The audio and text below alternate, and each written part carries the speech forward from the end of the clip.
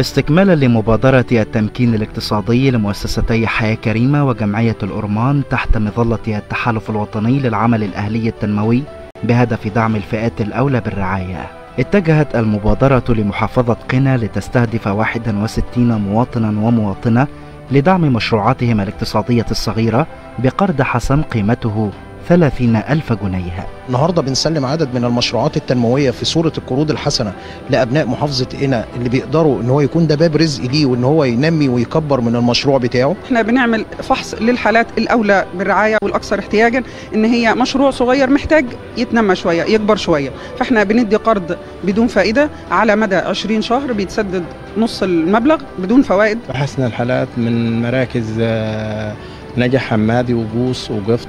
ونجاده اللي وقع لهم الاختيار. طبعا كلها مشاريع حرفية قائمة. طبعا النهارده إحنا بنجني ثمار المبادرة العظيمة مبادرة فخامة الرئيس حياة كريمة ودي أحد نتائجها النهارده. آه عايز أقول إن المبادرة طبعا في محافظه هنا الحقيقة يعني غيرت في المرحلة الأولى فقط غيرت آه، شكل المحافظة تغيير كامل وكله لصالح المواطن البسيط. التعاون المشترك يهدف الوصول إلى الحالات الأكثر استحقاقا في قرى مراكز محافظة قنا هدفا في تمكينهم اقتصاديا. عملية تنموية متواصلة لتجوب كل المحافظات من شمالها إلى جنوبها. أنا عاوز أشكر بصراحة جمعية الأورمان ومؤسسة حياة كريمة لأن النبي صلى الله عليه وسلم قال خير الناس أنفعهم للناس. الواحد مبسوط طبعا أكيد لما يشوف حاجة زي كده بتساعد الشباب يمكن نقدر نكبر مشروعنا ننمي نفسينا أكيد مبسوط يعني. عملوا كل خير معايا ساعدوني وقفوا معايا في المشروع بتاعي والحمد لله مشروعي نجح أكتر من الأول كان ناجح 1% دلوقتي حاليا بخدمتهم وقف أكتر من 99% والحمد لله يعني ربنا يبارك فيهم. استلمت القرض.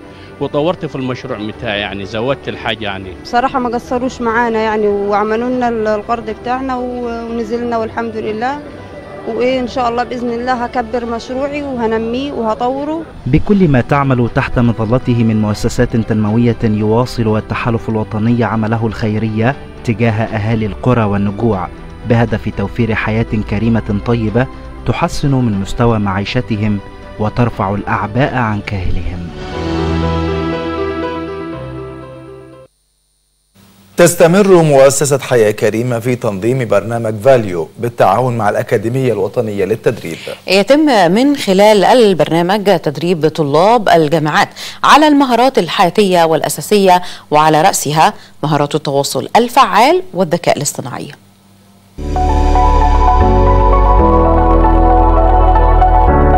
بهدف الاستثمار في بناء الإنسان المصري وخاصة الشباب تستمر مؤسسة حياة كريمة في تنظيم برنامج فاليو بالتعاون مع الأكاديمية الوطنية للتدريب في دفعة الحادية عشرة ليستمر على مدار خمسة أيام. وذلك لتدريب طلاب الجامعات على بعض الموضوعات والمهارات الأساسية والحياتية وعلى رأسها مهارات التواصل الفعال والذكاء الاصطناعي. نستقبل أكتر من أو حوالي 400 طالب من طلاب الجامعات والمحافظات المختلفة. استقبلنا 11 دفعة بأكتر من 25 مجموعة من مجموعات الطلابية على مدار الثلاث أشهر الماضية ومستمرين في المرحلة الأولى لنهاية ديسمبر. الطالب بيكون يعني مسؤوليتنا كاملة من ساعة ما يعني من, قبل حتى ما يجي من محافظته بنكون منسقين معاه آه، كل حاجة ومظب يعني منسقين معاه آه، إقامته آه، التدريب أيام التدريب. بينزلوا على أرض الواقع يبتدوا يحتكوا بالمواطنين ويحتكوا بالأرض والناس فده بيعلمهم مهارات كتيرة عشان يقدروا بعد كده يتعاملوا مع ال- الأرض الواقعية؟ ما يقرب من 400 طالب يتلقوا تدريبات برنامج فاليو من أكثر من 12 جامعة وما يزيد على 14 محافظة مختلفة حيث تستمر التدريبات على مدار ثلاثة أيام بمقر الأكاديمية الوطنية للتدريب تتضمن تدريبات وورش عمل ويومين للزيارات الميدانية لمواقع وقرى حياة كريمة وأماكن سياحية وعسكرية. التدريب هنا يعني هيبقى مفيد جدا وهيفيدني في حياتي وهيديني اكسبيرينس أكتر. فرصة عظيمة وإحنا بنكتسب فيها خبرة علمية وأكاديمية من ناس لهم خبرة في الدراسة وفيهم أصلا يعني الأكاديمية كلها شباب. علمتنا إزاي نعرف ننزل الشارع ونتعامل مع الأشخاص ونشوف المشاكل نقدر نحل فيها. كانت دايما مشروع جميل إن إحنا نتعلم. عجبني التواصل والمدربين و...